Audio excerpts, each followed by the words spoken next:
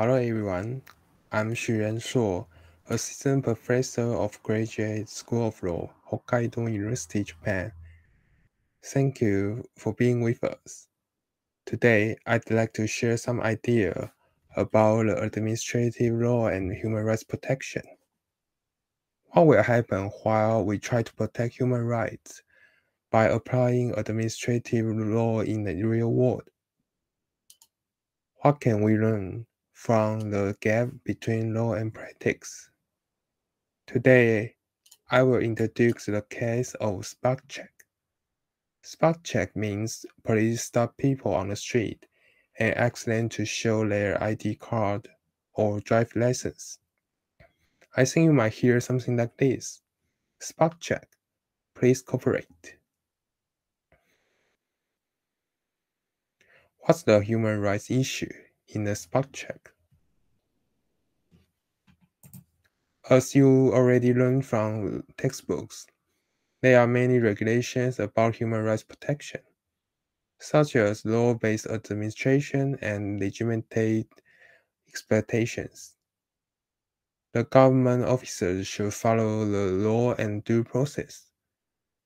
People whose rights have been violated could bring a lawsuit against the state. We regulate the state's power through the regulation and protect human rights from the abuse of power. Also, we have these regulations to protect human rights. There are still human rights violations in the real world. Recently, to control COVID 19, police set checkpoints on the street, stop citizens, and check if they wore masks. People who didn't wear masks will get a ticket. Well, the mask check sounds nothing wrong. Police officers are just doing their duty to control COVID 19. But the story might be different if we consider the police law. Some scholars and human rights organizations indicate the risk of human rights violation in this case.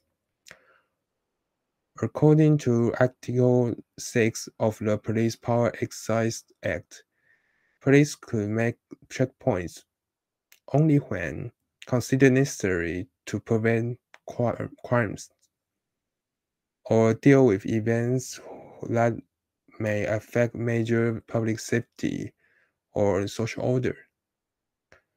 Did not wear a mask is not a crime.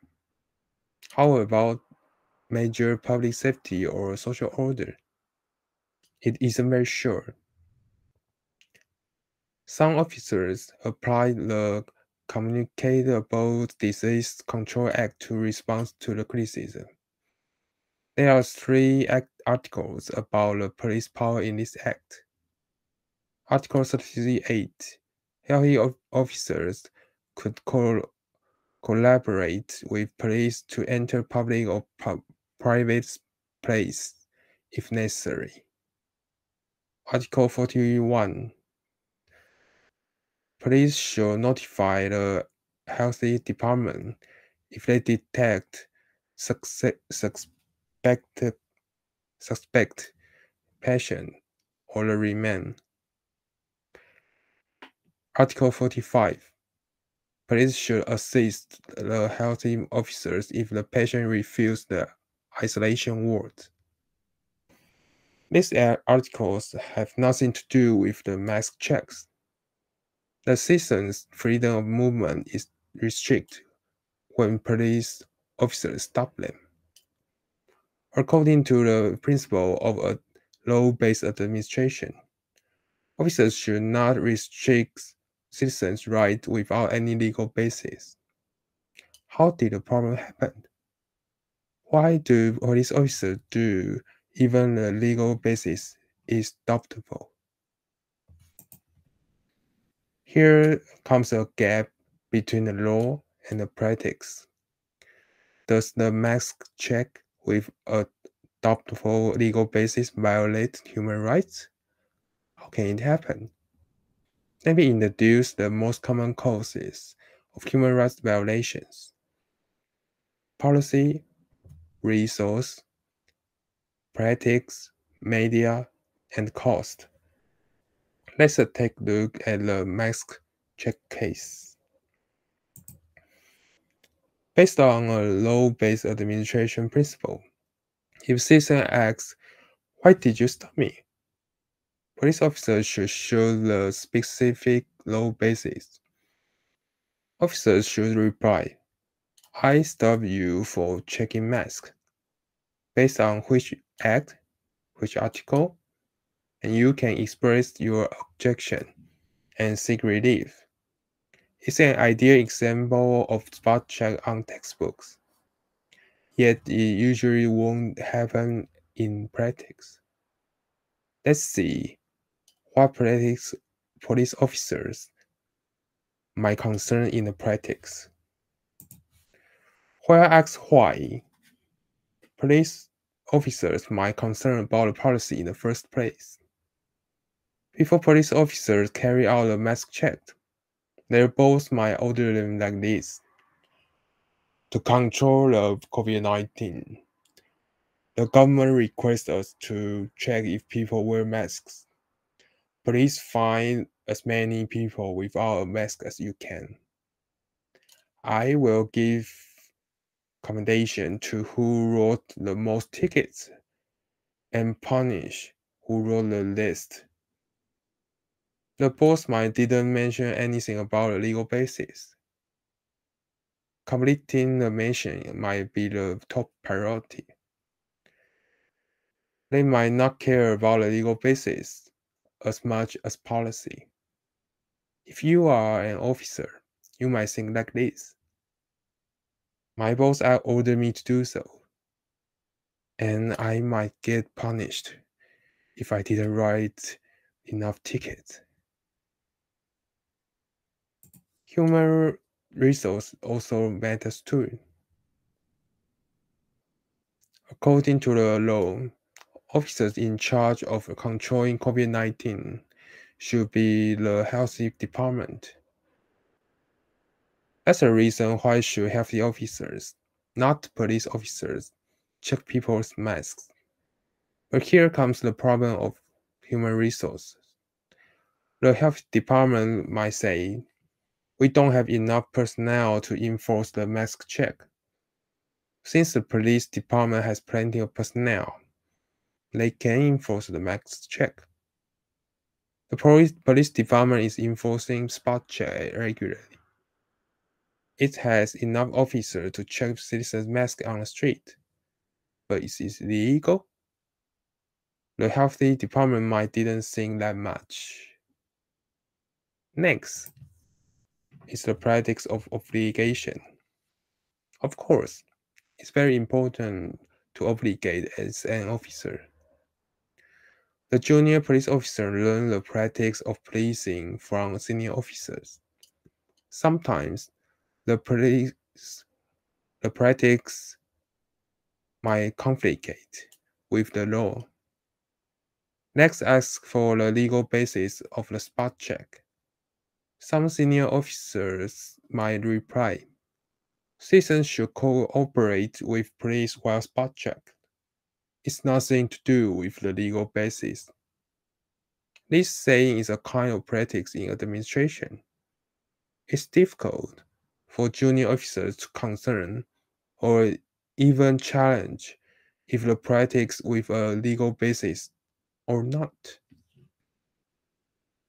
Outside the institution, media is also a crucial factor. You might hear something say something from media like this. There are a lot of people who are not wearing masks. It's horrible. The government should do something. The police should do something. The pressure of public opinion might make police officers think that's true. As a police officer, I should do something. Otherwise, chief officers might be worried about the criticism from mass media or Congress if they didn't enforce a mask check. It's how media affect officers' behavior from outside of administration institutions. Last but not least, the citizen might concern about the cost of seeking relief. No matter how the police officers think, citizens have the right to express their objection and seek relief. But it might be pretty costly to ordinary citizens. First, they must know to recognize that while police should not stop citizens without a, without a legal basis. Second, if they express their objection, they might need to stay at a checkpoint or police station for a few hours. Seeking relief costs their time and risks them. Finally, they will need a lawyer to file a lawsuit, which costs both time and money. In practice, citizens might don't know what's the problem of mask checks. Even unwilling citizens might still co cooperate with the police due to the high cost of seeking relief. Police know this, of course, so they usually expect citizens will cooperate with them. For the above reasons, police officers might not consider law-based administration as a top priority.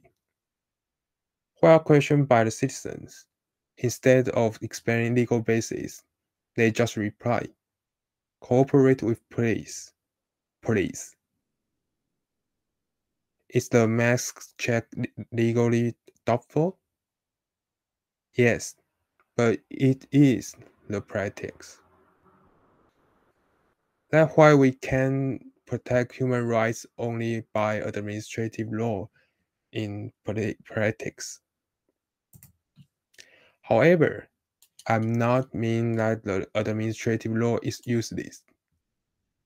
Through the mask check case, I'd like to show that law in practice is always affected by many factors, such as policy, resources, media, and citizens' consciousness.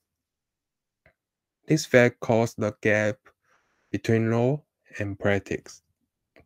Next time you face a human rights issue, you should first figure out where the problem is. Should we fix the law or fill the gap between law and practice. To achieve human rights protections, we should concern about legal, political, social, and economic factors. All facts matter. That's why you need to learn law, politics, society, and economy in this subject. After this lesson, we should not only ask if it's legal or illegal. We should ask how and why it's illegal or illegal with knowledge inside and outside law. Only in this way, we can find out the human rights protection proposal, which is effective in practice, in real world let's take the human rights more seriously. Thank you very much.